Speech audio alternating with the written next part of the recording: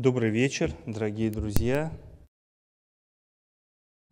дорогая церковь, все, кто собрался сегодня здесь. Мы хотели бы продолжить нашу тему, которую мы посвящаем уже вот продолжительное время, а можно сказать даже уже и а, не один месяц. Вот, и мы начинали вот эти темы еще до лета, потом у нас был перерыв, и сейчас мы продолжаем их. Вот прежде чем закончить разговор Э, разных аспектах внутренней жизни семьи Уайт, э, хотелось бы э, вот один очень немаловажный да, аспект тоже высветить и о нем сказать.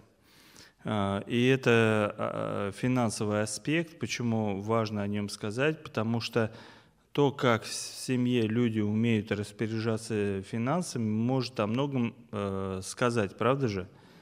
Вот, э, об этой семье, об этих людях, об их предпочтениях, вкусах, нравах вот, и так далее. Я думаю, что вот у всех у нас так или иначе в жизни этот вопрос э, ну, стоит, можно сказать, или, вернее, периодически он возникает, да, вот э, с определенной, может быть, какой-то остротой, потому что так или иначе вот вопрос финансов – часто э, дают о себе знать. Вот сегодня я утром провожал своего сына в, школу, мы, значит, идем с ним, и э, утреннее время, да, и вот уже Союз Печать, ларек работает, продают там журналы, газеты, какие-то еще вещи. И, значит, он подошел, смотрит, я чуть-чуть тут приотстал, он подбежал к нему, смотрит, я говорю, что ты там смотришь, пойдем в школу скорее. А он говорит, тут э, армуды продают. Я говорю, какие, давай расскажи за армуды, что это такое. Он говорит, ну это такие вот шарики, шарики, да, которые вот в воду помещаешь, они разбухают, а потом их все в школе друг другу продают. Можно, э, у меня, говорит, есть 100 рублей, можно я куплю армуды. И буду заниматься в школе бизнесом, продавать их. Я говорю, ты знаешь, прежде чем заниматься в школе бизнесом и продавать армуды, бизнесмену необходимо выработать э, в себе одно очень важное качество. Ну, он спрашивает, какое? Я говорю, э, терпение и бережное отношение к тому, что уже накопил.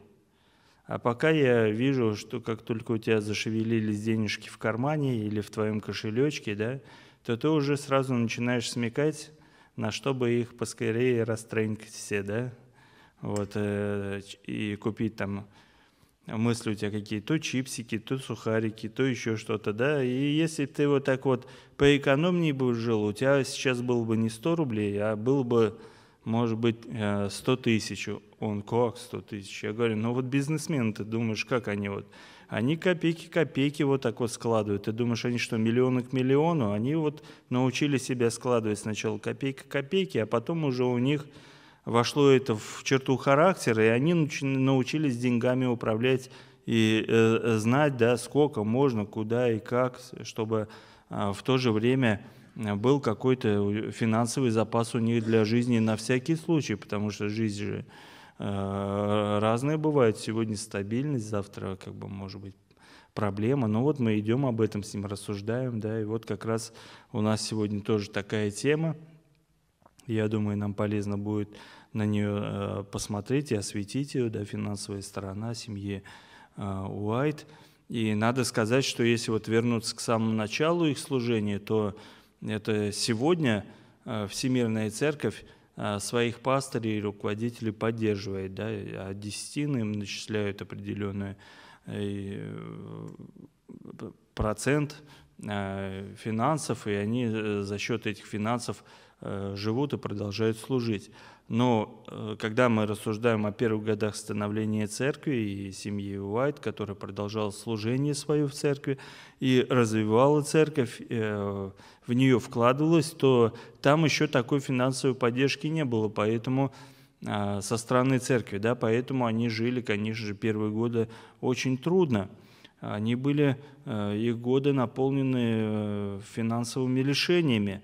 Вот они не имели регулярного дохода. И вот, как я говорю, еще вот этой системы финансовой поддержки служителей вообще не существовало э, как таковой. Э, и не то, что даже финансовой поддержки не существовало как таковой, а церкви-то как таковой не было, правда же? Вот, э, со всей ее как бы многогранностью, выстроенностью структур, работы отделов и, и так далее.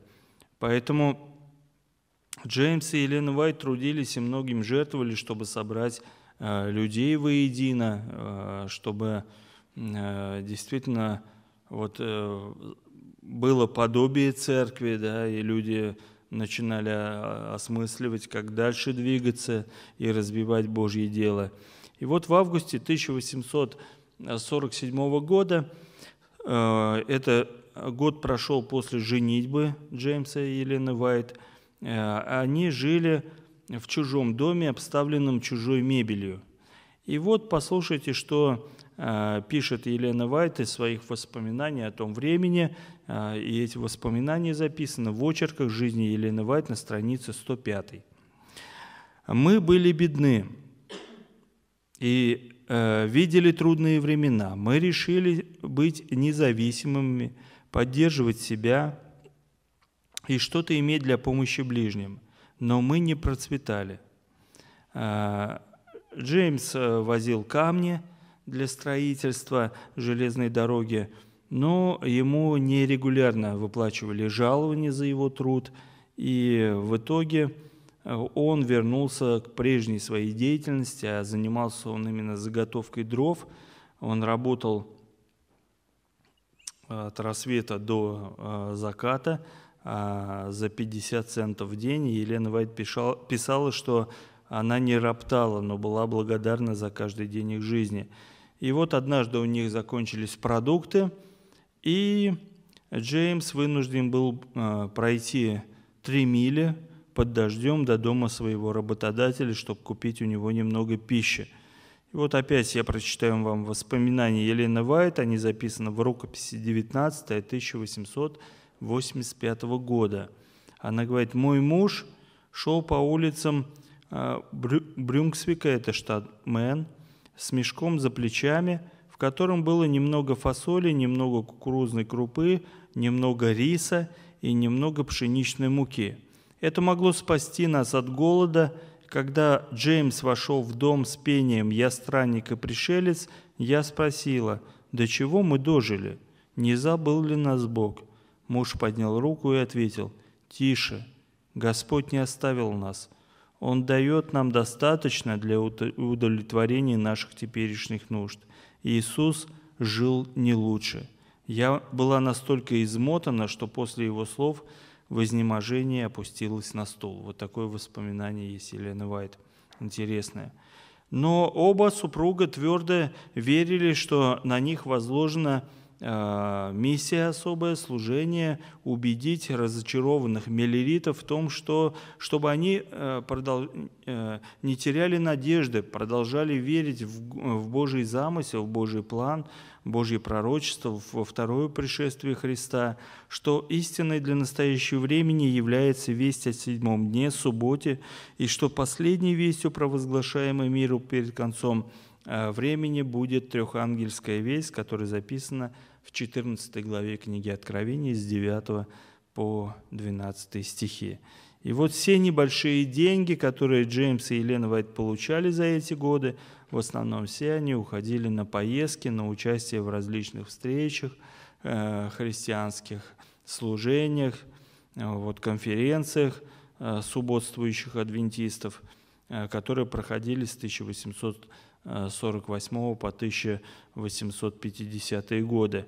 А также эти финансы у них уходили на публикацию первых открытий, сделанных в процессе библейского изучения. То, что Бог открывал, это все надо было издавать, с этим надо было знакомить людей.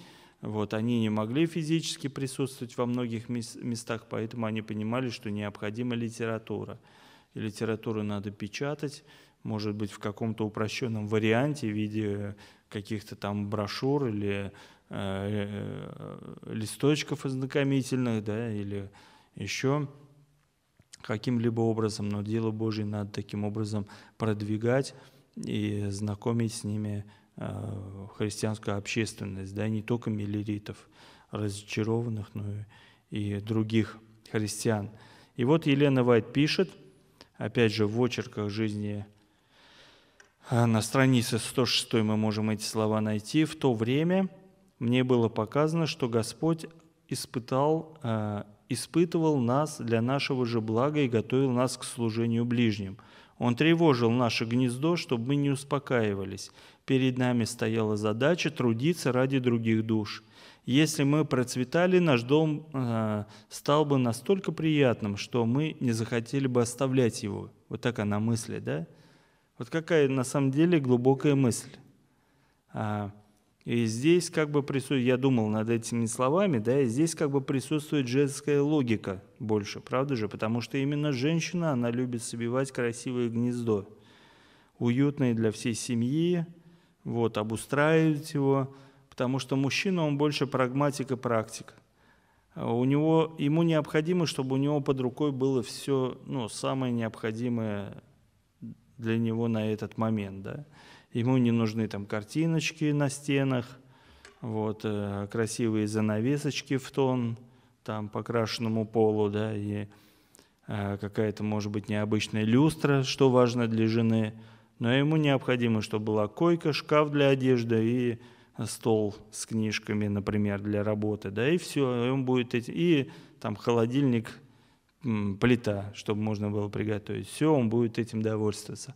Для женщин же не так, да, и Елена Вайтова своим как бы мышлением женским, она говорит, вот пишет об этом, да, если бы мы процветали, наш дом был, был настолько приятным, что мы не захотели бы оставлять его. И вот а, в 1848 году Джеймс Уайт отмечал, и эти слова записаны в письме брату Уайту, а, Джеймса Уайта а, брату, от 1848 года, 2 июля. «Я дал обет Богу, что направлю все свои силы на выполнение Божьего благословенного дела, на распространение трехангельской вести». Да, вот такой обет э, дал Джеймс Уайт. Дела в семье Уайт э, поправились не сразу. В начале в 1848 года Джеймс писал что все наши вещи, включая одежду, постельные принадлежности и домашнюю утварь, помещались в небольшом дорожном сундуке, да и то он был пустым наполовину. Нам ничего не остается, как только служить Богу и идти туда, где Бог откроет для нас путь. Вот такое вот, да, а, такие слова записаны вот опять же в письме Джеймса Уайта э, Хастингсу от 1848 года, 27 апреля. А четыре года спустя уже, когда семья Уайт отправилась в Рочестер, штат Нью-Йорк, они э, наконец-то могли снять дом уже в аренду, не у кого-то жить, да, вот, так как у них вот отпала с этого момента нужда жить с другими людьми. В доме они могли разместить печатный станок и поселить несколько других адвентистов, которые стали помогать им в работе – и вот опять же я хотел бы прочитать вам из очерков жизни э, на странице 142 э, слова, которые писала Елена Вайт Скобриджу Хелленду. «Ты улыбнешься, если посмотришь на нас и увидишь нашу обстановку. Мы купили две старые кровати по 25 центов каждая. Мой муж принес домой шесть старых стульев, причем среди них нет даже двух похожих. За стулья он отдал один доллар. Затем он достал еще четыре старых стула без сидений, и за них заплатил 62 цента. Каркас у стульев крепкий, я сделала на них сиденье. Масло настолько дорогое, что мы не покупаем его. Не можем также позволить себе картофель. Вместо масла употребляем подливку, а вместо картофеля – репу. На первых порах мы ели на кухонной доске, положенной на два пустых бочонка из-под муки. Но, добавила Елена Вайт, мы готовы переносить лишения, лишь бы дело Божье двигалось вперед. И вот молодой Урия Смит, а, живший в одно время вместе с семьей Уайт, в своих наблюдениях относительно питания в этом доме отметил, что теоретически а, он не был против того, чтобы есть бобы 365 дней в году, но когда эта еда превратилась для него в постоянную пищу, он собрался было возразить. То есть мы видим с вами, да, насколько вот действительно аскетичный был образ не то, что из, из-за фанатизма какого-то, да, нет, они хотели бы жить более благополучно, да, но вот на тот момент они избрали просто такой не в ущерб э, Божьему делу, да, такой образ жизни. А, прошли годы, прежде чем семья Уайт достигла того, что а, можно было назвать стабильным финансовым положением.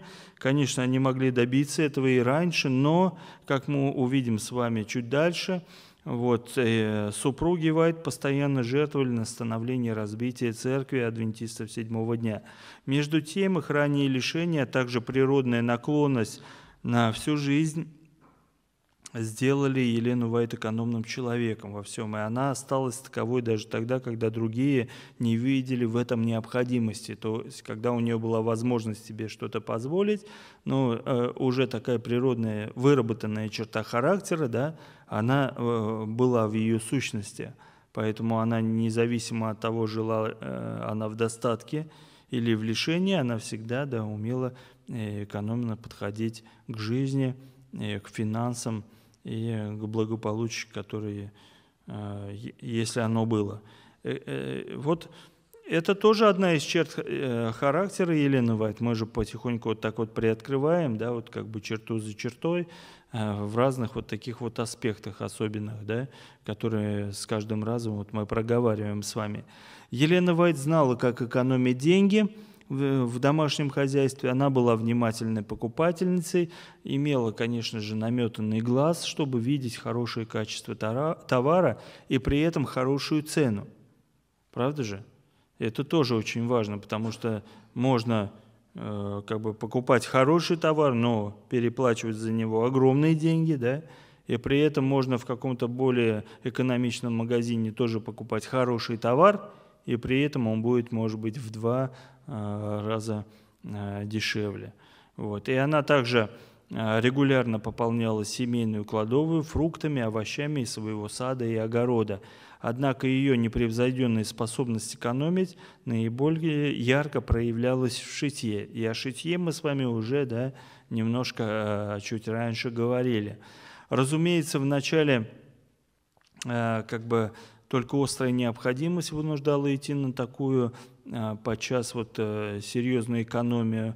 Например, в конце 1840-х годов Елена написала, что э, ставила не просто заплаты на пальто Джеймса, но латала даже заплаты на заплатах, поскольку трудно определить, какой была первоначальная ткань на рукавах.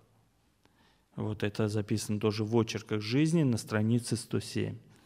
Помимо того, что Елена Вайт посвящала довольно много времени шитью, а, шитью одежды для семьи, а также для а, каких-то обездоленных, нуждающихся людей, вот, э, ей, казалось, э, владела а, подлинная страсть к вязанию, ей нравилось это дело.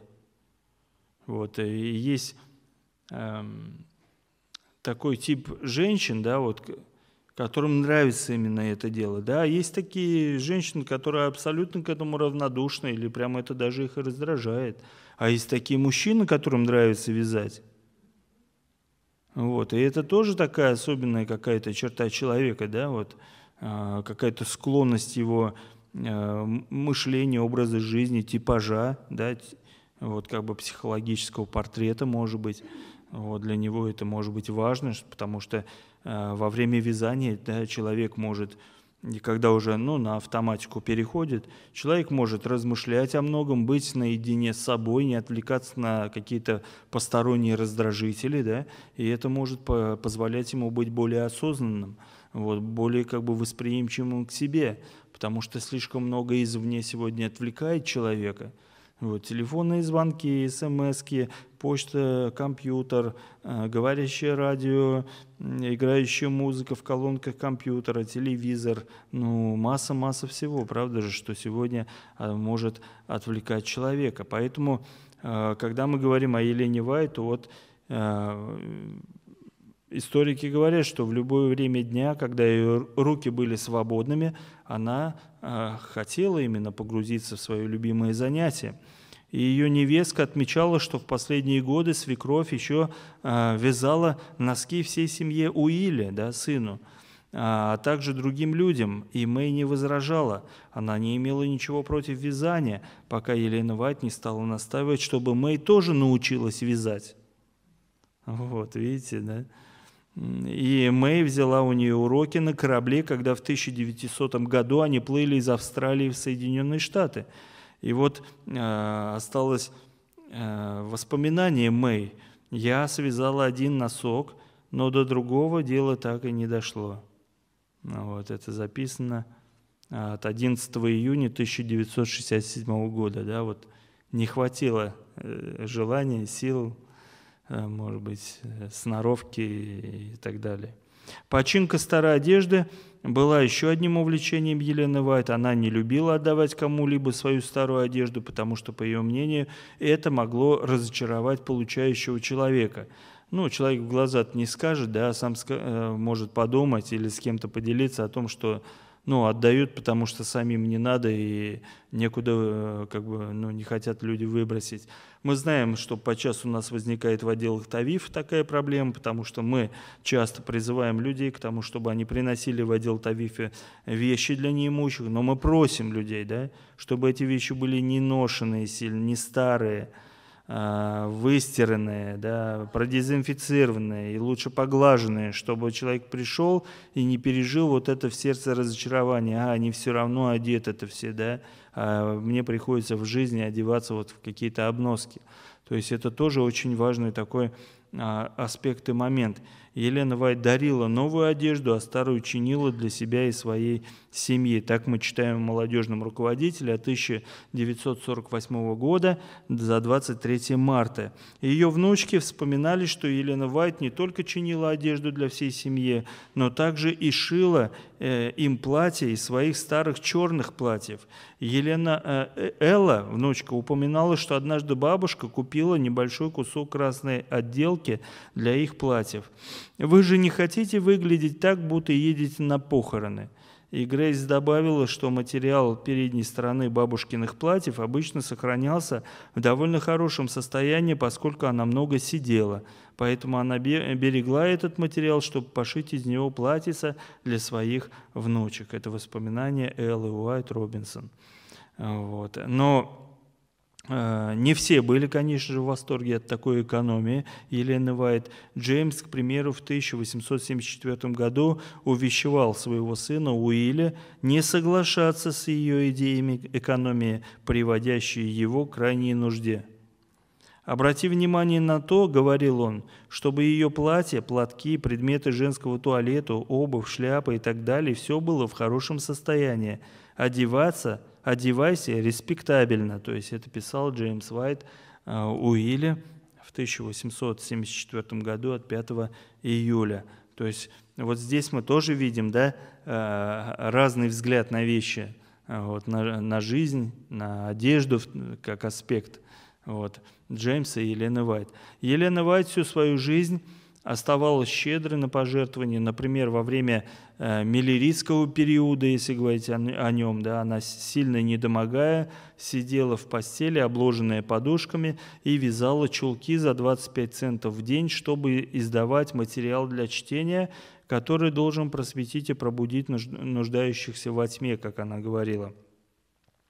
Советы, э, это записано в очерках жизни Елены Вайт на странице 47. В течение ряда лет, вспоминала Елена Вайт другой раз, они с Джеймсом получа... не получали жалования и были рады носить поддержанную одежду, а иногда у них едва хватало пищи, чтобы поддержать силы. Все средства шли на продвижение Божьего дела. И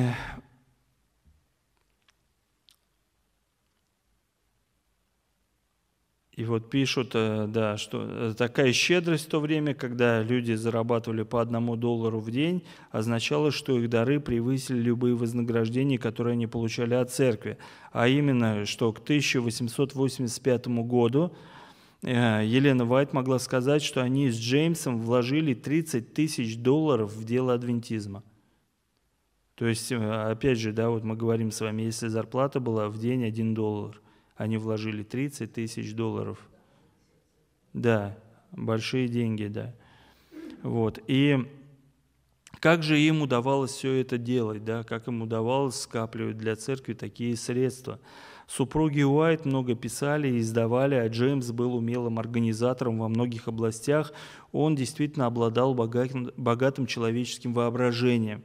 Вот у него хорошо работало мышление, да, э, хорошо, э, ну, как современным языком говорит, он был очень человек как креативный, да, придумщик. Э, вот, из ничего мог как бы создать какое-то интересное там дело или занятие или служение – вот. И доходы от таких вот разнообразных проектов позволяли им неоднократно вкладывать средства в развитие адвентистских программ. Они были постоянно впереди, жертвуя на новые проекты в адвентистской работе или зарождающиеся учреждения. Другие средства направлялись на погашение долгов. Елена, например, посвятила доход от издания книги «Наглядные уроки Христа», она была издана в 1900 году, на погашение долгов адвентистских образовательных учреждений. И согласно плану, она жертвовала для этой цели свои авторские гонорары, издательства, свои доходы, рядовые члены свое время на продажу этой книги. В 1903 году проект принес больше 300 тысяч долларов дохода за выплату долгов. Вот. Как осуществлялись да, вот такие вложения и продумывалось, как действительно финансировать церковь. Однажды, но это, знаете как, это не от хорошей сытой жизни, правда же? Потому что когда церковь нуждается в финансах, всегда э, в церкви люди думают, как действительно э, сделать возможным да, ее продвижение вперед и развитие ее миссии. Однажды, в 1904 году, когда Елену Вайт обвинили в том, что она стала миллионершей, то Елена Вайт в ответ сказала такие слова, послушайте, они записаны, кстати, в «Избранных вестях» в первом томе, на странице 103, вы можете прочитать их э, дома, обратившись к этой книге. «У меня нет в этом мире ни одного владения, которое было бы свободно от долга. Почему? Потому что я вижу, как много миссионерской работы должно быть сделано». Вот ее слова. В другом случае она сказала такие э, слова, и они записаны в письме 46 от 1895 года. «Я буду продолжать вкладывать в церковь и в ее дело, пока могу распоряжаться средствами, чтобы дело Божье не ослабевало». Письмо, написанное в 1895 году, подытоживает основной подход Елены Вайт к управлению средствами. Она заявила – Никакие деньги, попавшие мне в руки, я не считаю своими. Я отношусь к ним как к Божьим деньгам, за которые мне предстоит дать отчет. Письмо 4 1894 года.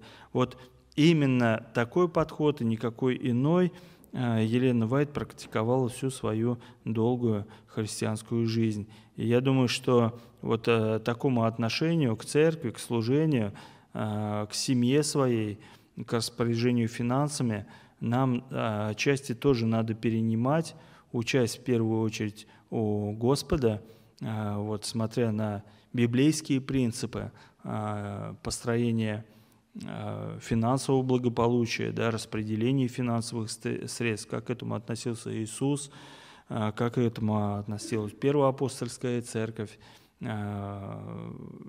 они умели распределять, находить баланс – так, чтобы существовать в этом мире одновременно, одновременно не забывать о деле Божьем и о служении. Пусть Господь нас благословит. На этом мы завершаем нашу тему э, финансового аспекта в семье Елены Вайт и управления ресурсами.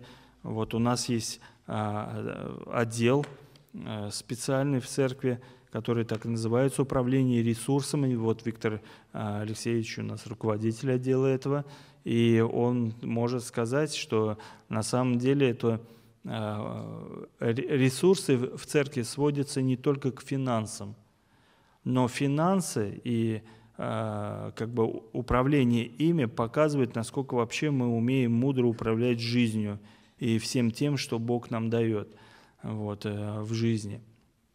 Поэтому пусть Господь нас благословит так, что мы имели э, достаток и благополучие, и были благодарны Богу и не забывали о церкви своей.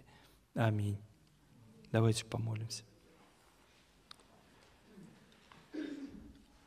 Благословенный наш Господь, благодарны Тебе, что Ты по Слову Твоему учишь нас, как быть э, мудрыми людьми и жертвенными людьми, и, Господи, живя ли в бедности, в достатке или в довольстве, Ты помогаешь нам и учишь нас правильному э, распоряжению финансами, Господь. Благослови нас в том, чтобы мы видели Твою руку, и чтобы пресыщение не отвернуло нас от Тебя в гордыне, а нужда, Господь, не подтолкнула к тому, чтобы отвернуться от Тебя из-за обиды. Благослови нас, Господь, верить в Твои обетования, которые говорят, что хлеба – воды, всего необходимого для жизни будет достаточно для того, кто, кто уповает на Тебя.